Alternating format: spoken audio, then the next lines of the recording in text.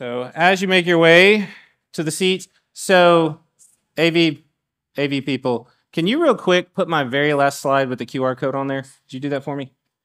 Because I meant to click on that earlier and I didn't, but can you go all the way to the end so I don't have to do that? All right, so if you want free stuff, you want to know our stuff, you want the PowerPoints, you want all this, pull out your phones. If you register here, all this does, we won't spam you, but uh, once we get done with South Africa, we're going to send all our talks, all our PowerPoints, the devotional, the 40 weeks of wisdom that we've done. Um, I've given out all the copies I can. Um, we have all of our graphics, infographics, everything that you need.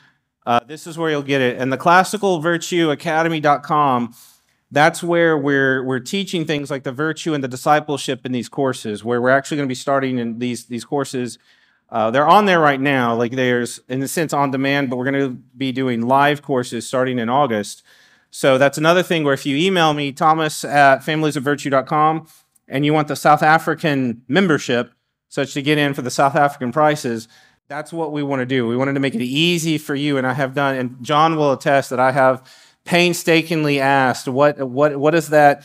How does that work in the South African economy such that you offer just a little investment such that you, you get from that great reward? Um, because I want to help families, and, and we're a homeschool family.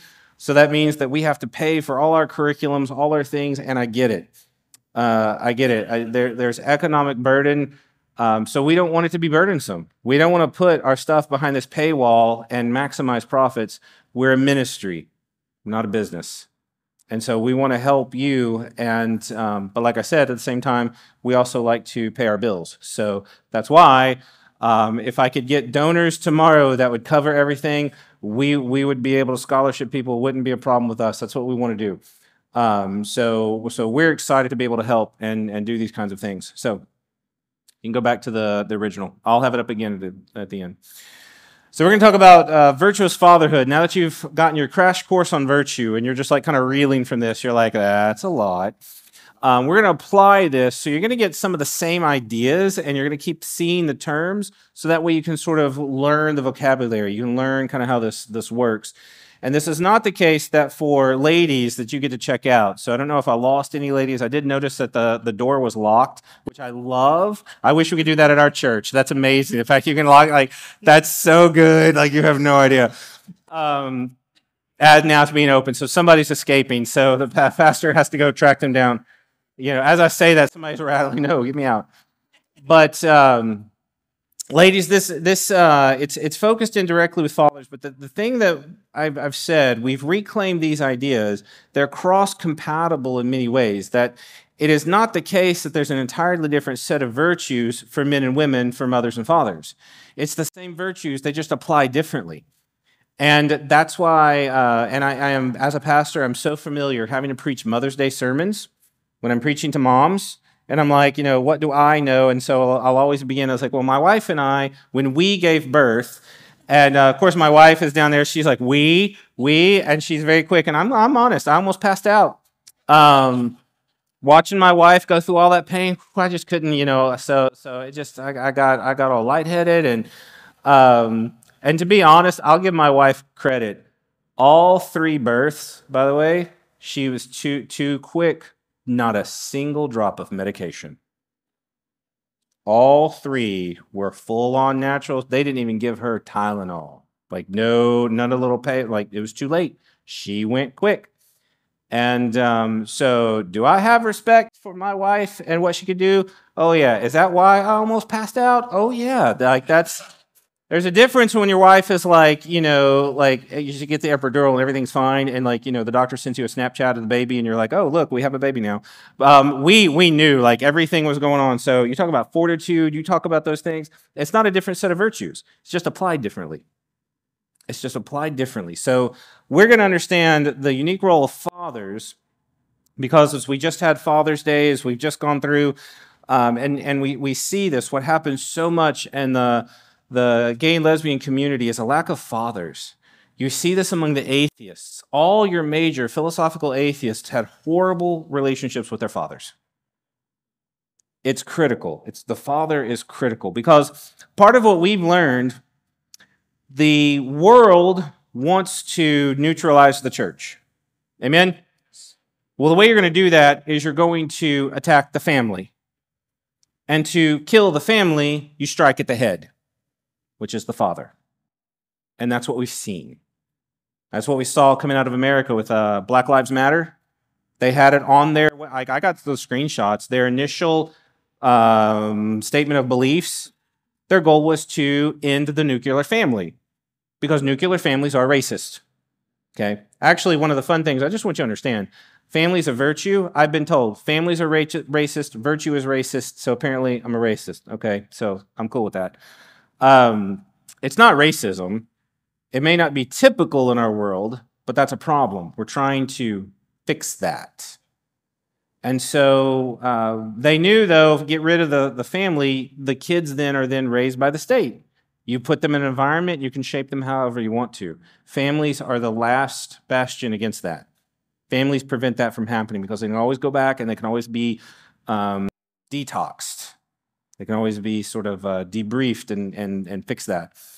So we got to understand what we're, what we're dealing with. So Ephesians 5 22 through 23. We're familiar with the, ver- the verse. Wives, submit to your own husbands as to the Lord, for the husband is the head of the wife, even as Christ is the head of the church, his body, and is himself its Savior. Now, it's funny when, when I give this verse and people look at it, and, and this word submit always gets, gets uh, people twitchy. And I said, listen, Paul tells us in the church we're to submit to one another. Do we have any problems with that? So when we come to the, the household and it says wives should submit to husbands, do we have any problems? And all of a sudden we got, well, are you know, it's not supposed to boss me around. Well, no, he's not supposed to boss you around. We don't do that in church, or at least you're not supposed to. If you do, stop that. But you're not. I mean, the, the pastor's the, the head of the church. You submit to the pastor, and like we're okay with that. But you know, the pastor doesn't come along and say, you know what, I really don't like what you're wearing right now. You need to change that. You know, or just I mean, sit and boss you around. We're, we're so good at corrupting this and so good at overcomplicating it. Bottom line, however else we say it, um, I take it as my responsibility as the father of my household that whatever goes on in the house ultimately falls on me. I'm responsible. Okay, so that's why I have that charge. I know that when my wife, who is the homeschooling parent, when she's homeschooling and she's, she, she gets upset because she didn't teach my son math very well this, this last year, is what she said. And I said, Well, I share that burden with you. She's like, You didn't do anything. You didn't do the teaching of the math. I was like, No, but I'm responsible. It's my job to make sure. And it's my job to make sure you have what you need to make that happen. And I must have failed you somehow, and that's my fault. And she, she'll, she'll do this thing. Don't make it about you. I was like, I'm not, I'm not making it about me. God has given me this, this, this responsibility. I don't get to shirk that off on you. I can't blame you. It's my job to make sure you, as the mom, have what you need to thrive and succeed. It falls back on me because that's what God did with Adam and Eve. Eve, who came from the rib, not from the foot that he would step on, or not from the head she would roll over, but to stand by side. But when it came down to it, who was responsible? It was the sin comes through Adam. It's because Adam fell that we all have that sin nature, and why the second Adam had to come and fix that. You with me? So when it comes to my, my family, I, I take it seriously. And it took years for me to kind of figure this out because no one told me. No one explained to me how this was supposed to work, and I had no godly examples. This is the other thing. You want to write this down because it's not in any PowerPoint. I want you to understand that virtue is taught, sought, and caught. You have to teach what is right, you have to live as that example, and then the person who's learning, they must seek it. This is why parents, two out of three is your responsibility. You can sort of draw that to them. But for me, I didn't have, no one taught me, and I didn't have any good examples. So when I got into being a, being a husband, that's why I stunk so bad at it. I didn't understand. And even when I went into ministry, I said, my family is my first ministry. I said that when I went into ministry and I, I, was called to ministry 2001, went into seminary 2003. It was probably 2013 when I was at a conference and I hit my knees weeping because I realized for over a decade I'd been saying my family is my first ministry, but I wasn't living it. And it took a stranger at a conference to point that out to me. We need community. We need each other to highlight these things, to show us one of the things I learned about my children is that my children reflect my sin really well. So I learned a lot about myself. Do they not? I mean, that when they start doing what you do, because they will, they'll pick it up. you know, I'm supposed to treat my wife with, with respect. And I just jokingly with her, you know, I use Jesus' words when my wife says something. I said, woman, because that's what Jesus said to his, to his mom. He's like, woman, what does this have to do with me? So, woman. So one day my five-year-old looks at my, looks at my wife, woman, I did that. That's my bad. He caught that. Sorry. We'll fix that. And so I don't do that anymore. I realize, hmm, they're going to treat their mommy the way I treat mommy. They're going to treat their wives the way I treat my wife. It's so critical to provide that example. So, again, the world, often meaning Satan, seeks to sterilize the church. This requires destroying the families. If it can kill the head, it will devour the body. This is what the world, again, seeks to do. And I would say the world is doing a really good job of it. In culture, the man is the, the father is an idiot.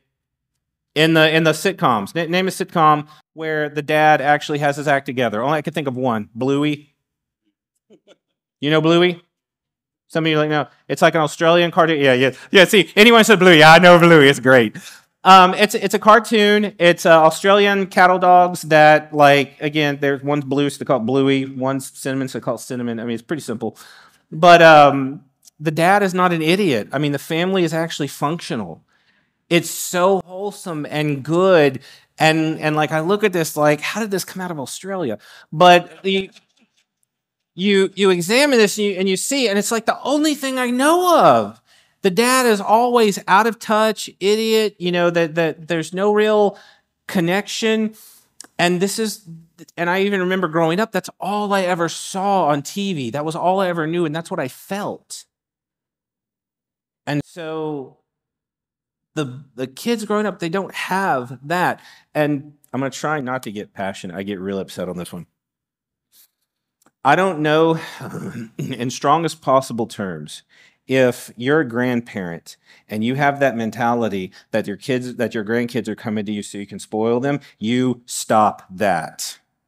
Why in the world have we set up a system where grandparents spoil their grandkids? Why not Nana and Papa, or whatever y'all call your grandparents?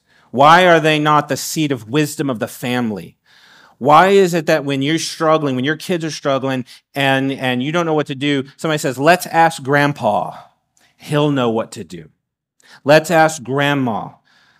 I want to be like grandma when I go up, grow up. But they don't want to. They just want to go to grandma because they get the candy, they get the sweets, they get the spoiling.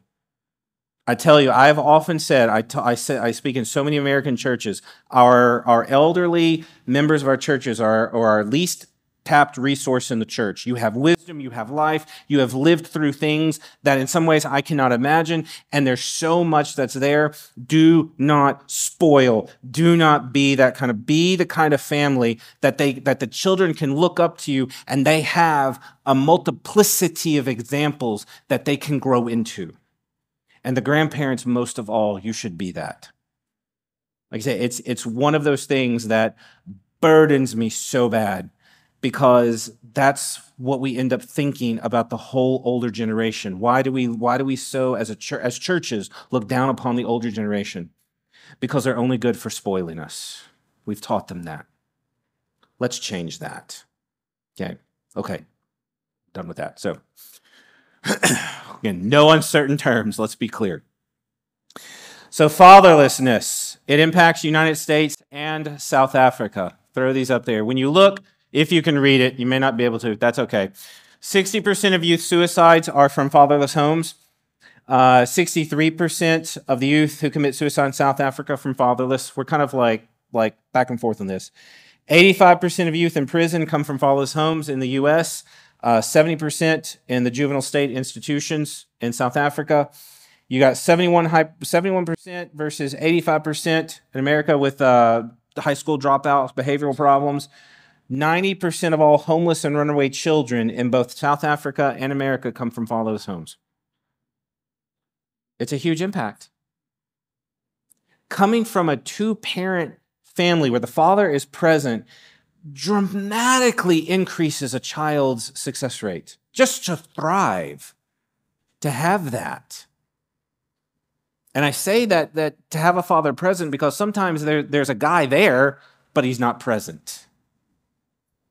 And that's that's a, another another issue for another day. But to be there, that this is why um, a friend of mine, some of you, I don't know if you know Simon Brace. Um, he's with Ratio Christi. You should, if, if you know Simon, you know Simon, and you understand. Um, but Simon, he's he's just this this this interesting, boisterous character. And I'm sitting in his living room because we went to Potchefstroom. Potchefstroom? Potch? Okay, I'll just go with Potch. So I'm working on it. We, I go there. I go where Simon's house. And the thing about Simon is he starts talking, but this way, and he starts talking. He's like, he's just like, here's the pride. He's he's going at it. And he's boisterous. He's big, and he's loud, and he's talking to these first year students at the college, and they're just they're just and he's uh and then here comes little his son little Reuben five years old with his with his um I believe it was a helicopter I think that's what he was trying to make and he comes over and Simon just stops oh Reuben you know and he just focuses right there with Reuben deals with it here's what you need you got to make this stronger this is too floppy out here Reuben goes on what I was saying and he just gets right back to it he he just I looked at this and I said it seems so small, but how many dads? And I looked at that and I was like, oh, Holy Spirit check. I don't do that with my kids. I looked at it, I was like, all right, I'm going to fix that when I get home. We need fathers who are present. So let's investigate. What are we dealing with with this? To put it in simplest terms, lack of self identity, self worth, that's going to lead to suicide. They don't know what they're worth. And they need parents, they need people who communicate that to them because what happens is the world either tells them they're worthless or the world only tells them they have worth if they have a certain orientation.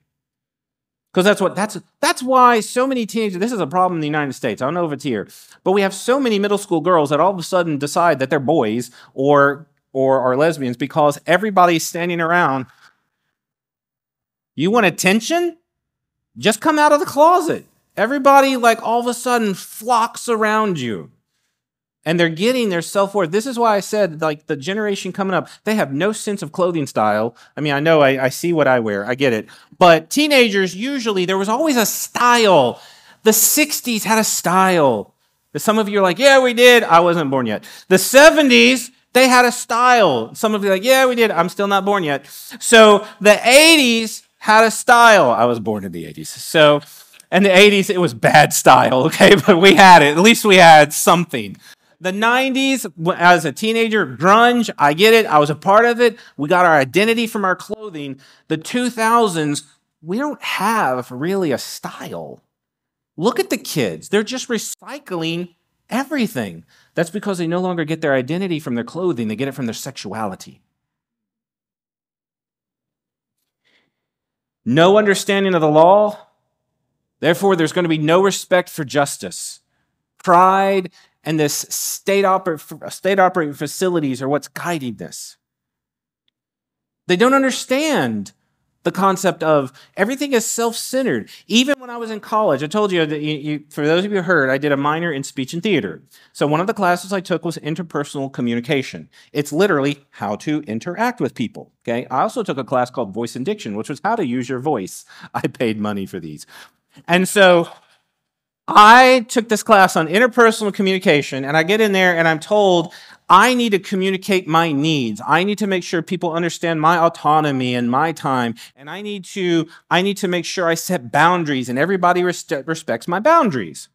Now, I took this class in the fall of 2001. In the spring of 2001, okay, well, actually, let's see, in reverse, like our spring comes before our fall. I know for you guys it gets confusing. So, um, the earlier in 2001, I got married. Later 2001, I take this class. So, you know what I did as a young married man?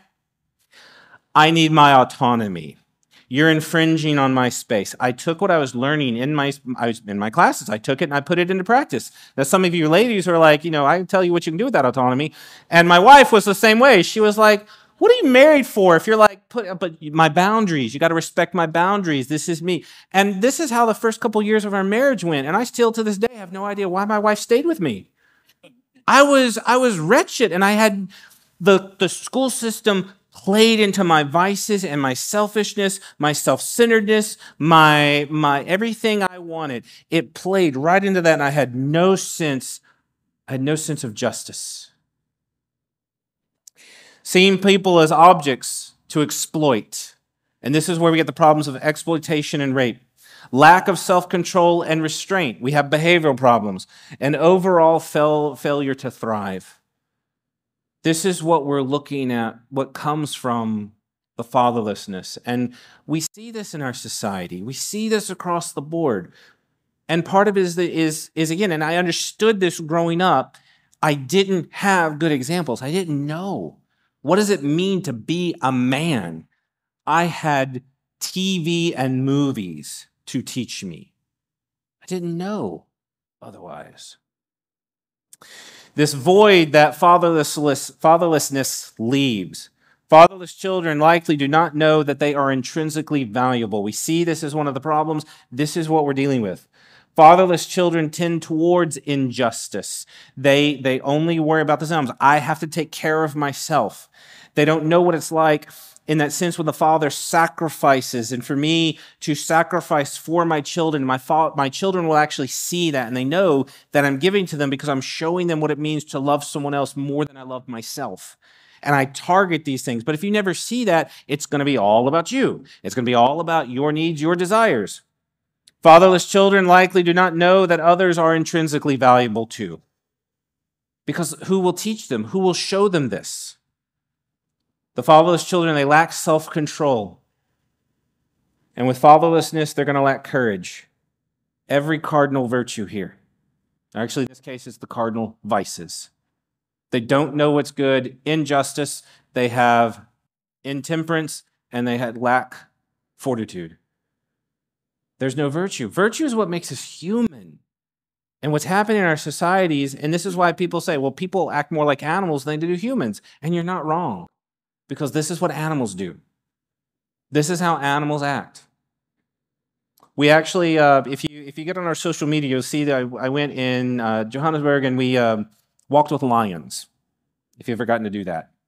You know what I'm talking about? You seen the walk with lions? Oh, it's so much fun. Because we're American, we don't know better. So we feel, you know, like like we just, we're gonna go do walk with lions. Okay. So we get out there and um, we decide that that we're gonna do this and they're talking about the lions and they're talking about what happens in nature and how things work and we're learning about the lions and we learn about the hyenas and we learn about this because you know we get to see them um, we got to pet a cheetah that was fun um, last time i was here in 2019 and i've told this was stupid john and i got to pet a leopard um, you know, and, and people people told me don't do that, and I was like, well, no, no, the, the guide was doing it, and know, what do I know? But we're learning and we're learning, you know, the cubs, they get eaten a lot. And, um, you know, I tell the guy, like, well, I've got kids and, you know, I see the way they act and sometimes I get it, you know, so, so I, I understand this. Um, but the, the, the, Cubs, bad things happened. You know, nature takes its course. Lions can't survive. A lot of death. A lot of, you know, the, the older lions get kicked out and they die of starvation. And you're listening to this, and it's nature runs its course, right? We look at that, and that's that's nature. It's unforgiving. There's no virtue to the animals. They have no morality. They just act according to their desires. They have an impulse. So that's why that was almost effective just then.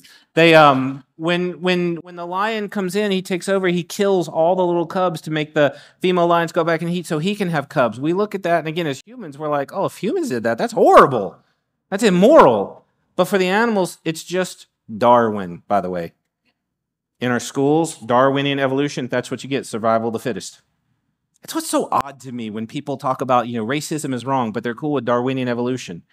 Darwin himself said that, and I love quoting it Darwin said that it would be the white man that would bring the gorilla, the aborigine, and the negro to extinction. Understand what Darwinian evolution gets you. There's no, there's no world of justice, there's no world where racism is wrong. It's actually right in a Darwin world because survival of the fittest. You hear a lot of conversations about oppressor and oppressed because of CRT. That's exactly the way it should be in an atheistic Darwinian world, by the way, because we're just animals of a higher order. But the thing is, we're not just animals of a higher order. We're made in the image of God, and we have a morality. And what's happening when the children grow up and something is, and, and they grow up without this direction, bad things happen. One of the more interesting stories I like, if you're familiar with the, the story of the Jungle Book, and um, you know, the, the the Disney version makes it look all. That's actually based upon a true story. A kid that was found out in the wild. It happened with a kid that was raised in the wild, and there's another case of a girl who was um, in the states.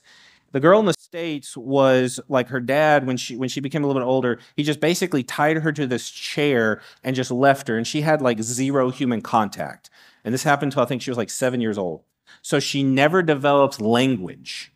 She could not communicate with people. And once they found her and they began working with her, and they could never get her to talk. Something was so broken in her through this disconnect that there was there was almost no way to salvage. And, and what happened? She eventually, her family got her, and she went off the radar. So we don't know what happened. The uh, the other boy, he sort of developed some competency, but never really, as we would think, becomes like truly human. And that's because he missed out on all that development. And what's happening in our families when they don't have the institute that God has given them with a mother and father to help them development, this is why they're developing the way they are. Well, so we can like literally scientifically prove this, but also God has told us spiritually this is this is part of the problem. So, fatherlessness has led to a, to a centuries long spiritual pandemic, a true pandemic. And it's been going on for a very long time. Thus, what we face, and that went away. Fathers in general have shirked their biblical responsibility to lead their homes. In general. Now, some of you might be saying, You don't know my household. If that's the case, amen. Like, I am, I am so glad for that. But I believe it's the case so often, and even in the case of my like my wife and I, we were married in 2001. We didn't have children until 2010. Okay, and that was because I was getting my master's, and I said, you know what, I need to get my degree. I want to keep my wife home. We wanted we want to do this. I look back and I realize what God was doing was protecting my children because I didn't have a fat clue what it meant to be a husband, and I didn't definitely didn't know what it meant to be a father. And even when I became a father, I'm still like, I have no idea what I'm doing. Um, you know, we're just kind of winging this. They don't come with a manual. Um, but God was maturing me so that way I could become the father my kids needed. In some ways, I would say God was protecting my children. And I realize this now. And, and even now, I, th- I would think, even just recently, I feel like I've, I've, I'm growing in this and I understand my biblical responsibility. And I've got a I've got a 12 year old going on 13. I got an eight year old. I got a five year old, and I feel like maybe I can make a good go of this now. It's just taken that long. Part of it's the shirking, but part of it again goes back to if you're never told, you don't know.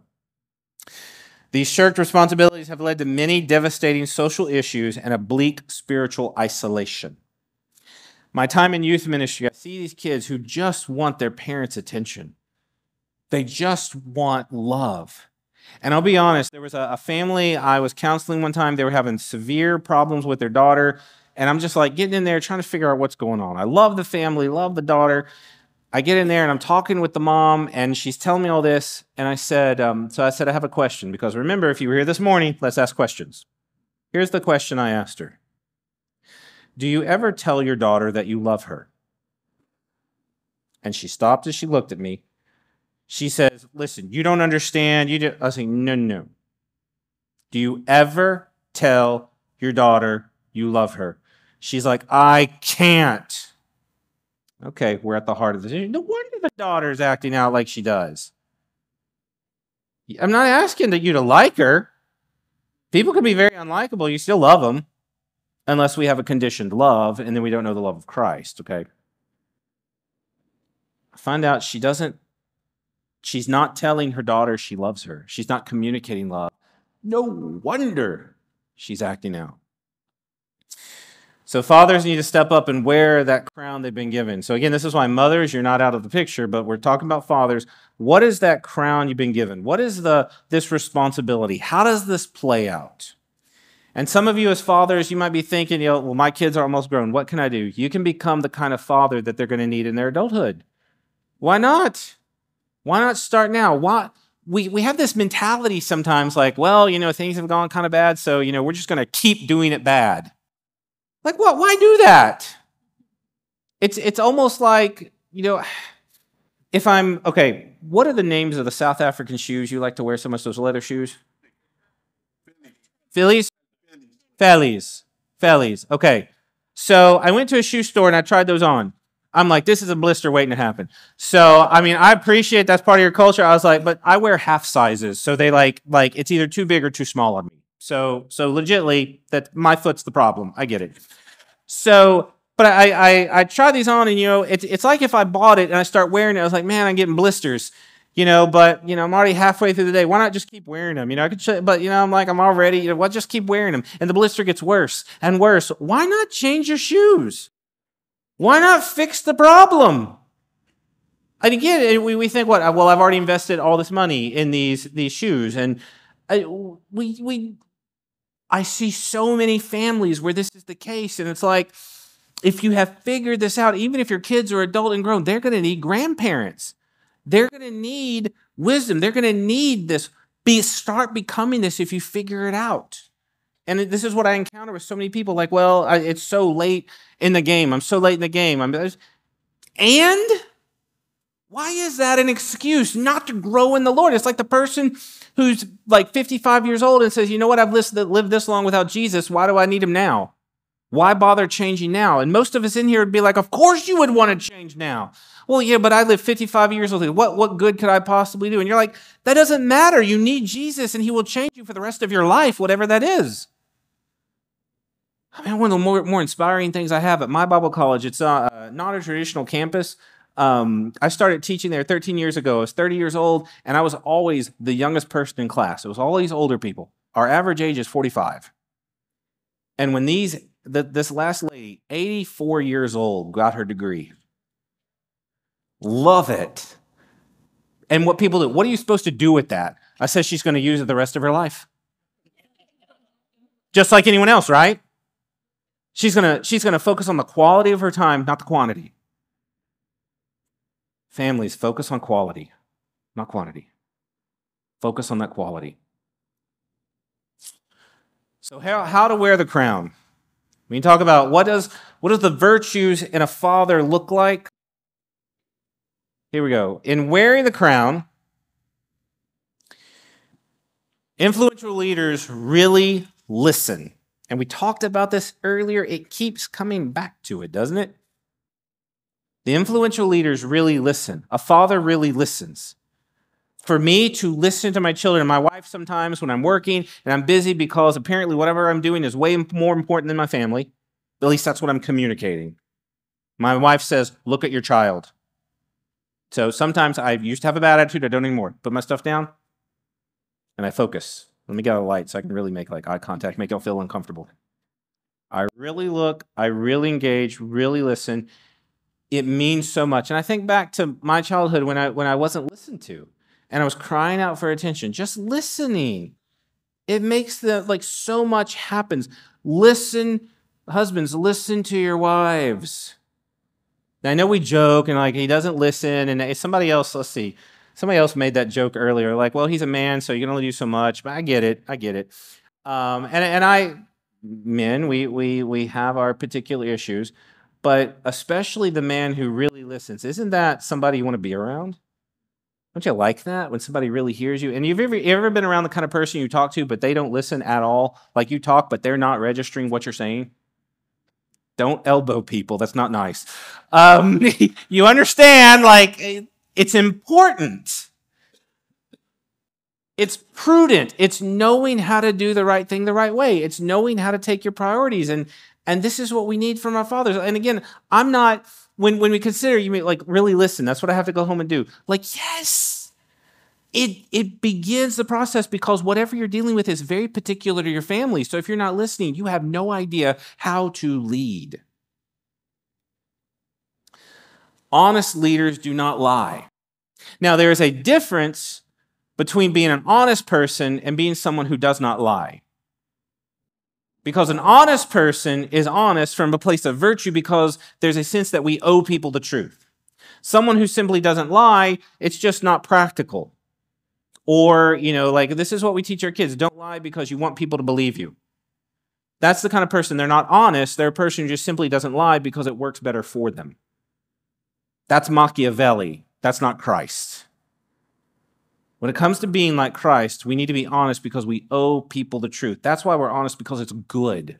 Not simply because we want people to believe us, not because it gets us better things or people think better of us and all the other things we tend to tell our children. We tell the truth because people deserve the truth, because we are good people. We are like Christ. We do what is right from a place of virtue. And I use this language all the time. The brave leaders do not compromise the truth. That's fortitude. And you're going to face that sometimes in your family. You're going to face where, you know, well, let me see if I can get around and, you know, and I can, uh, or you're just afraid and you do something in order to make extra money, whatever it is, the things we face, we have to, we have to have that fortitude. And you have to have fortitude in many ways before you encounter the situation. That if you come to a situation and you don't have any fortitude and you say, now I shall have my courage, and what are you going to do? Put it on? You're to like strap that on somehow? You're to like take that courage and stick that on? What are you to do? when uh, Joshua 1, Jesus or, or God comes to Joshua, says, uh, Be strong and courageous. You're going into the land. Well, Joshua had spent 40 years with these Yahoos, lapping this mountain, dealing with them. So by the time he gets here, he knows what he's up against, which is why I think God's coming to him saying, Be strong and courageous. I'm with you. But here's Joshua, who has seen God be with Israel that whole time. Joshua is now the leader. He's the head. God said, I will be with you, and you can go in the land. You can do this. But see, he'd already been developing, he'd already been cultivating, he'd been mentored by Moses. He was ready. And then he had to put it into practice. This is what we need in our families those dads who, uh, who will not compromise. Compassionate leaders can sympathize with other needs, and that's temperance we're able to moderate our own desires, our own passions, our own appetites, because we sympathize. I look and I understand. I may not like it, but I can go and I can do what needs to be done because I'm no longer just interested in my own needs. And I serve my family. And I serve, I can serve because I know how to put my desires, my passions on hold. That's what temperance allows me to do. If I've cultivated that, I can do that quickly, easily, and with joy. That's what it means to be virtuous to do the good thing, to do the right thing quickly, easily, and with joy. Isn't that what makes a good person? The answer is yes. I can see you enough that, you know, you, you, come on, stay with me. We're almost done here. This is what we need to see from our fathers. That's what would make the good father. It's not just the father that is the martyr. See, this is what I learned in my, my, my family taught me how to play the martyr. Okay, fine. I will give this up for you. I don't have to have this you know, I don't need this. You take it. I'll just sit here and suffer. Oh, I learned how to play the martyr. My wife quickly, you know, nipped that thing. She was like, We're not going to play that game. You do not get to be a martyr. Same result, very different motives. One comes from a place of virtue, the other comes from a place of vice. Now, the influential leaders we talk about, they really listen. So we're going to sort of hash these out real quick. The prudent father never divides the attention when his wife or his children speak. Now, again, you look at this, you're like, and again, if something is really coming crashing down, is destroying the family, this is where you tell them what you do is you're like, hold on, not right now. Let me deal with this. You've dealt with it. Now you can focus the attention. Prudence tells you how to decide which is which. I think that was the thing. Every movie in the 90s, it was a dad's like, you know, I realize, you know, I run this whole corporation and like everything depends on us and our whole livelihood, but yes, I'll take off work and go to the baseball game. Like it's this there's a there's a level of prudence that comes to this that you decide what is right at those times. It must be practiced. Prudent father learns to actively listen when the family speaks. A prudent father can summarize what the other person says before he responds to them when my five year old's telling me these things like so let me get this right let me let me feed back to you to make sure i understand what's going on this is what we also do in evangelism oh you so you say you're a buddhist and you say let me let me let me state these let me let me let me summarize where we are to make sure i've understood and you can figure out where you're wrong doesn't that help with communication doesn't it help in your family when you can summarize like when your wife says all that she says, whether it's a little or a lot, I'm not implying anything. But when your wife says all these things and you can summarize, here's what you said, and your wife says, okay, no, that's not it, and we go again, and you like you, you do that, and no, that's not what it is, you go again, but you finally get it right and you realize now we can actually communicate. Isn't that beautiful? Isn't that good? And you don't have to fight all that out. Wisdom from above is first pure, then peaceable, gentle, open to reason, full of mercy and good fruits, impartial and sincere. James 3:17. Honest leaders do not lie. This goes back to justice. A just father does not need to lie. A just father possesses integrity. He walks in righteousness even when nobody is watching.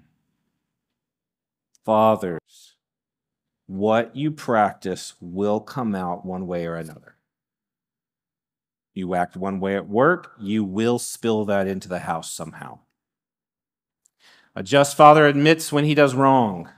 I'm very quick to admit to my kids when I've done wrong. I have this habit, like when I do wrong, I let them know I was wrong. I should not have done this. Even when I, even if I get mad and yell at them, I'll come at them. I should not have yelled at you the way I did. And I don't qualify that, but you really made me mad. Like, I just shouldn't have done that.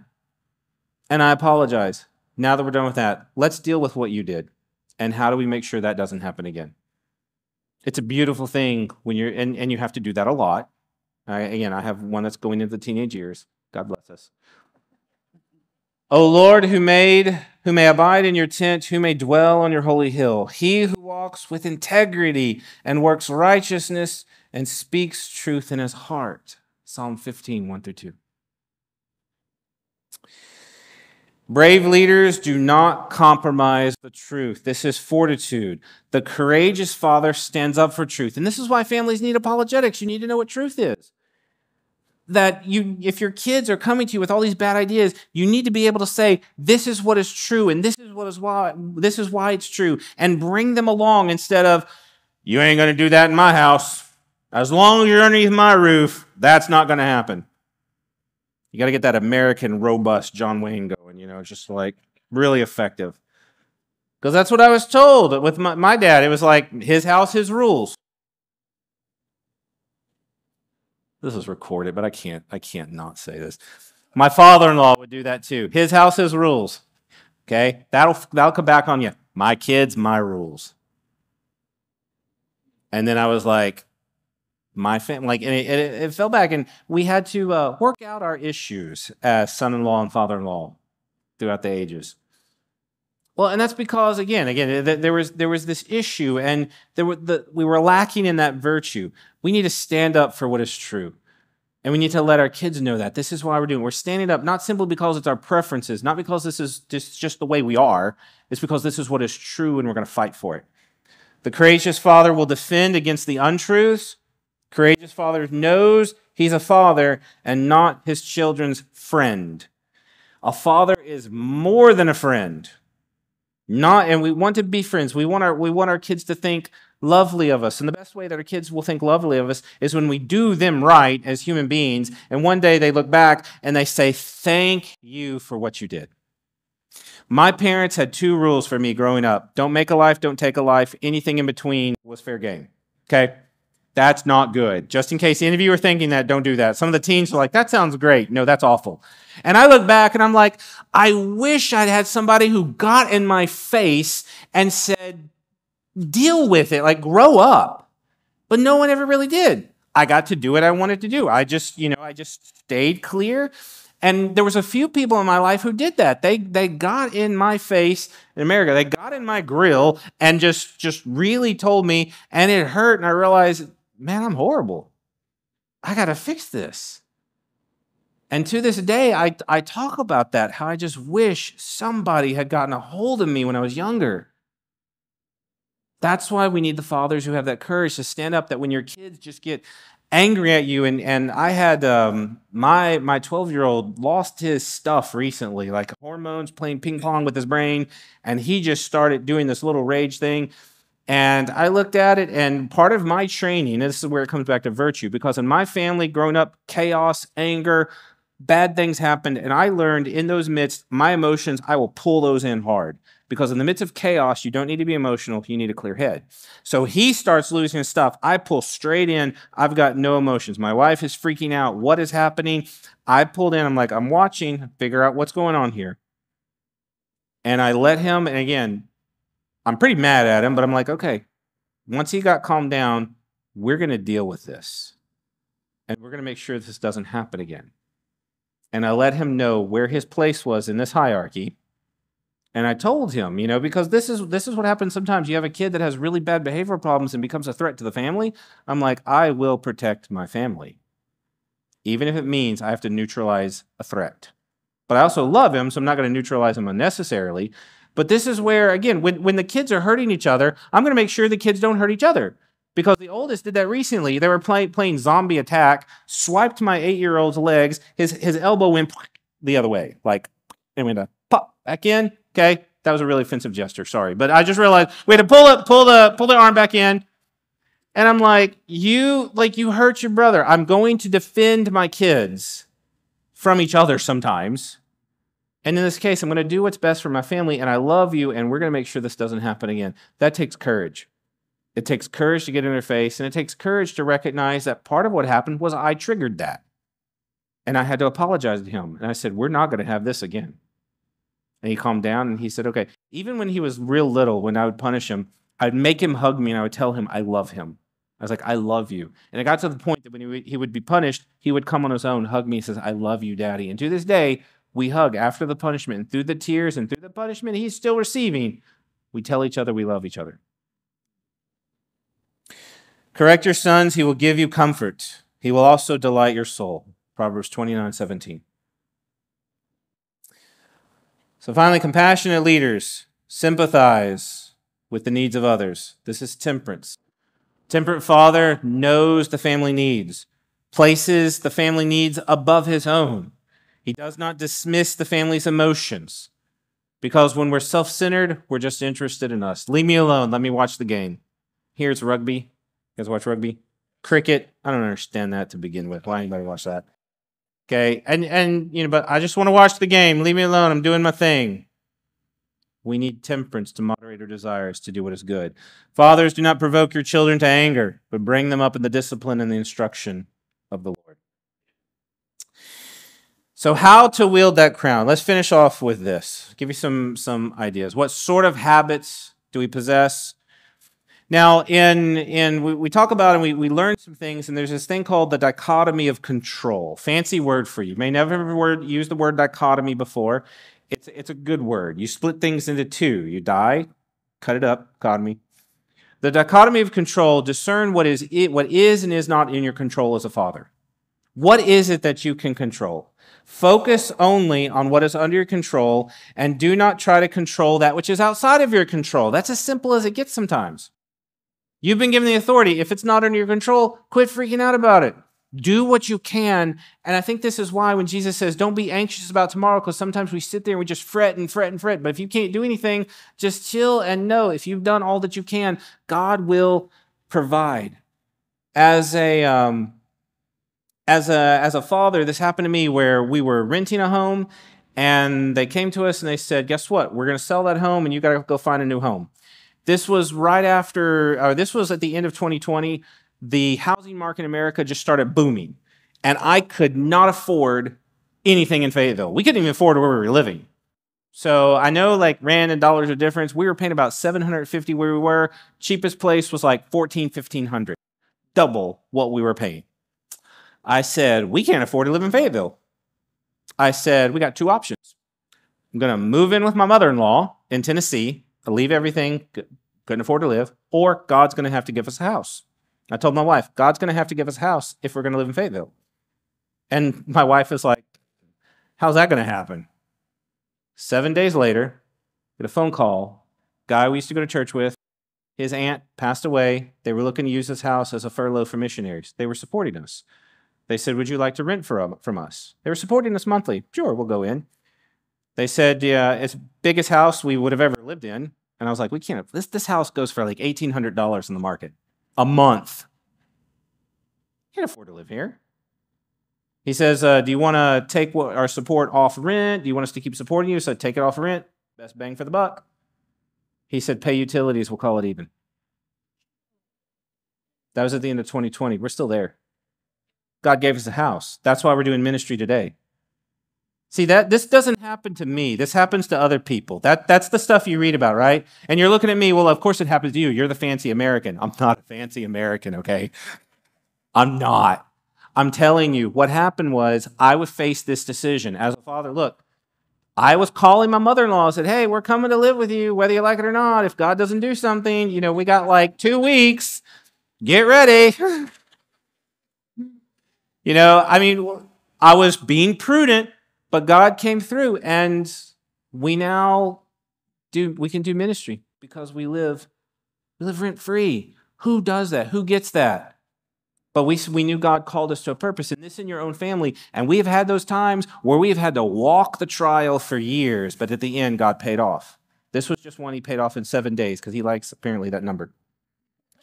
So, real quick, what I want to do, time is fleeting. Switch me over to the second to last slide. What is your crown made of? We'll finish off with this. In conclusion, here we go. There's three things you can think about, three kinds of crowns. Dads, listen. You can have a paper mache crown. This is where you know what the Bible says, but your cowardice causes you not to apply it to your life. It's a cowardice, it's a difference. It's why we use the Burger King crown. It's a crown. It's paper mache. It's it you you again, you know but you don't do. You have the fool's gold. You identify with your role as a head, but you tend to be legalistic and sometimes weaponize the Bible through imprudence and injustice. Or you can wear that crown of thorns. You listen well and place your family needs before your, before your own, and that is agape love and virtue in practice. Gentlemen, you have a calling. And as we've seen, the world needs you to be a dad because you've produced a tiny human or multiple tiny humans and you're going to unleash them in the world. So they need you. The world needs you. The church needs you to fulfill that role because you're the only one who can fulfill that role as their dad. Others can be surrogate spiritual fathers and they need them too, but you can only fulfill that role. And so I ask you, what are you going to do to cultivate the virtues you need so that you can give what God has given to you? Pray with me. Father, we thank you again as we are able to wrap our minds around these things, as we, we see this call that we have, as we, we understand that You've given us this life to live well, that this life is not about the career. The life is not about all these external things. That if, if all we do is just sit and be good people, if we just live as good people, then it's a life well lived. We need fathers who, who don't so much know how to climb the corporate ladder, but they know how to stand tall as a dad. We need moms who can stand beside, who are those mothers of virtue, who can stand and show this is what a godly woman looks like. We need parents who can raise up these children, for this is the reason you have created the family. Your word says in Malachi, you have given us, you have given the parents for the purpose of raising godly children. But we can't do it if we ourselves are corrupted in our own soul, filled with vices. Help us to be changed from the inside. Peter reminds us your Holy Spirit gives us everything we need for godliness and righteous living. So we've got it. But help us, Lord, to manifest it. May it begin with our character that we will be able to show and with our words, such that we will teach. And maybe when our children look up to us with adoring eyes, that they will desire to be like mom and dad, and they will seek to fill those shoes. In Jesus Christ's name we pray. Amen.